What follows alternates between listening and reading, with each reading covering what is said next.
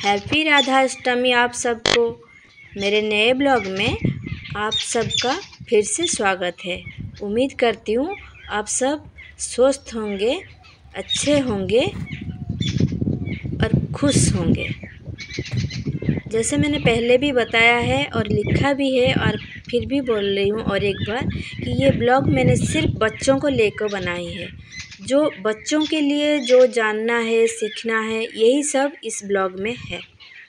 आज सुबह सुबह जब स्कूल गई मेरी बेटी, स्कूल से आते आते मुझे एक अजीब सा क्वेश्चन पूछने लगी, जिसका आंसर मेरे पास भी नहीं था। अगर आप लोगों के पास है तो ज़रूर बताइएगा।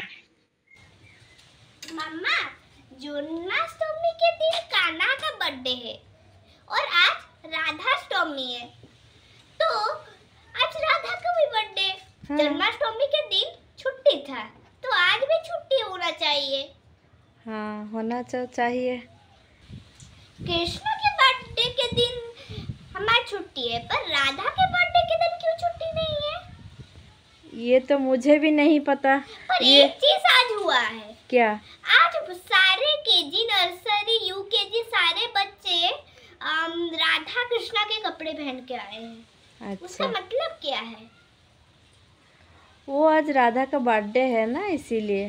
राधा कृष्ण के अंदर तो बहुत प्यार था। जन्माष्टमी के दिन तो वैसा होना चाहिए। जन्माष्टमी के दिन क्यों नहीं हुआ? राधाष्टमी के दिन हो रहा है। वो जाके अपने टीचर को पूछना कि आज क्यों स्कूल छुट्टी नहीं हुआ? कान्हा तो के बाद हमारे क्लास के सारे बच्चे बोल रहे जन्माष्टमी के दिन छुट्टी था आज क्यों छुट्टी नहीं रहा? वो जाके अपने टीचर को कल पूछना ठीक है? ठीक है। अच्छा। और बोलो।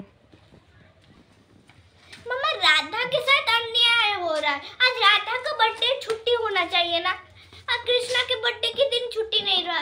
चंचल कृष्णा बच गया और राधा अन्याय हो गया। अच्छा। ठीक है ये जाके अपने टीचर को पूछना। ठीक है? पूछूँगी ज़रूर। अच्छा